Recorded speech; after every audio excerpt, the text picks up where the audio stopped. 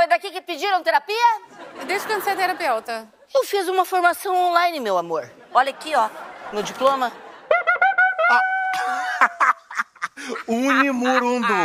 É ser... A gente sabe, meu amor, que Ai, você não é psicóloga coisa nenhuma. Deixa de ser picareta. Eu não sou psicóloga mesmo, eu sou coach, que já dá pra resolver a maluquice de vocês aqui.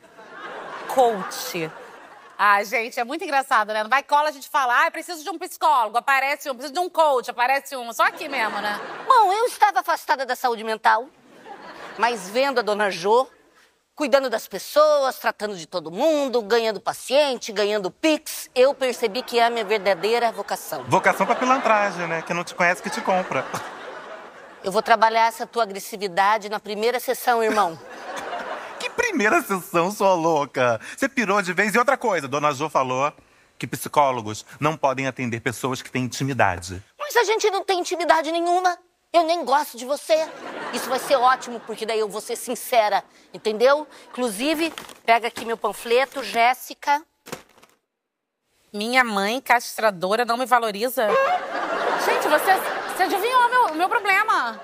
Ó, aqui, ó. Tem um pra você também, ó. Deixa eu ver, ó.